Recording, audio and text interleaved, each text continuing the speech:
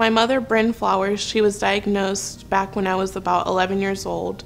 Um, she fought very, very hard and she was very um, well known in the community. She wanted to be a part of Susan G. Komen, so she got me and my brother involved at a very young age. I remember we were on a Team Boobies team. I just remember being involved and I saw my mom's passion and what she wanted to do for her community and as well as other cancer patients. Before my mother passed, she traveled to Sacramento um, to testify for a bill with Henry T. Perea. It's called AB 219. It's a bill that was able to lower the cost of oral chemotherapy pills. A lot of people don't know, but those pills are very, very expensive. I remember my mom paying $2,000 out of pocket for just a 30 day supply of these pills, just in order to survive a member of the Susan G. Komen Foundation reached out to me and told me that the bill was being sunset.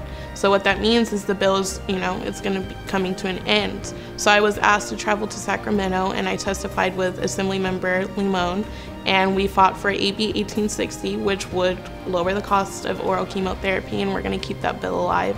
And I just hope that it continues and everyone, you know, votes for the bill and keeps my mother's name alive. When I'm in Sacramento and testifying in front of all these important people, I definitely feel my mother's presence and you know she guides me through the way and helps me figure out everything I need to do.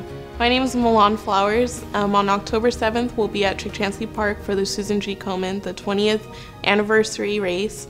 Um, I hope to see you there, and I hope our community can get together and embrace the patients and their survivors and everyone going through a hard time, and we can get together as a community and have a great time.